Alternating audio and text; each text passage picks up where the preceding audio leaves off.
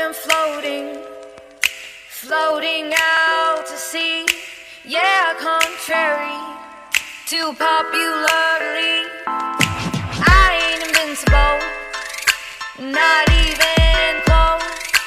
I'm just a little girl, a failure to most. I'm.